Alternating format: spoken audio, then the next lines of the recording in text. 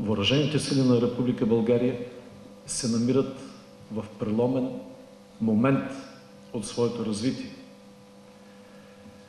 В резултат на политическа недълновидност дълги години, на системно недофинансиране и кампанийност, последният отчет на Министерство на отбраната за състоянието на отбраната и въоръжените сили е ясен и безпристрастен. Вие знаете много добре какво се констатира там.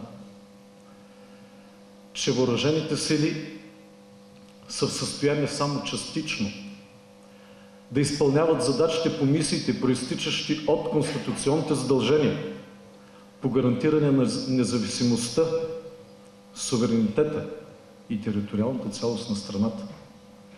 Системата за колективна отбрана на НАТО и в общата политика за сигурност и отбрана на Европейския съюз. Причините са до болка познати. Липса на съвременна техника и въоръжение и оборудване.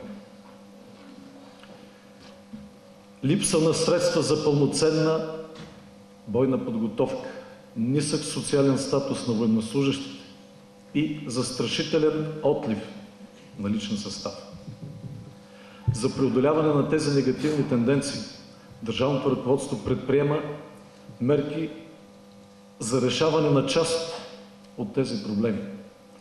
Вече са прияти важни проекти за инвестиционни разходи и е гарантирано тяхното финансиране. Още повече, като членове на най-мощния отбранителен съюз, България твърдо ще следва политиката за достигане на 2% разходи за отбрана от брутния вътрешен продукт, 20% от които за инвестиции.